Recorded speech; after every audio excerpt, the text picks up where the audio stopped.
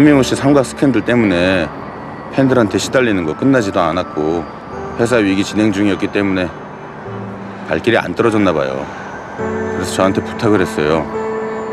우리가 정보력은 되니까 최대한 안 아프게 도와주라고요.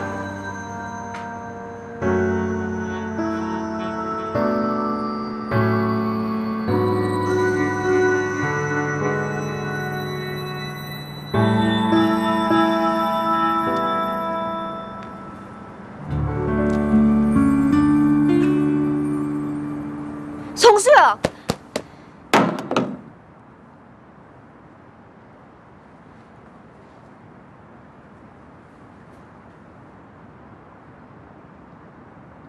나한테 등 보이지 마. 난 여기서 더 못 가. 무서워서 딱 여기까지야. 빨리 뛰어가다가 또 어떻게 될까 봐. 무서워서 더는 못 가겠어. 나머지는 네가 와.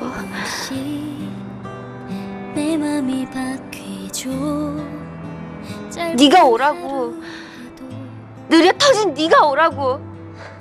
한 사람 가슴에 구멍 내고 이렇게 기다렸으면 그래서 이만큼 용기 내고 걸어왔으면 네가 이 정도는 와야 하잖아. 느려 터져도 이 정도는 다가와야 하잖아. 이 답답한 자식아.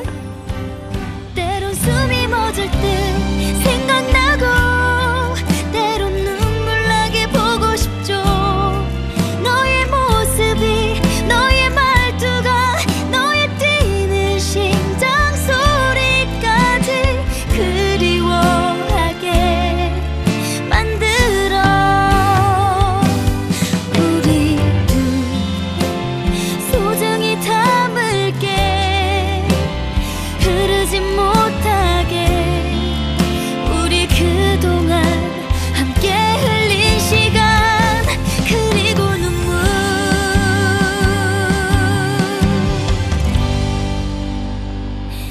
때론 숨이 멎을 듯 뻐근하게 자꾸 막아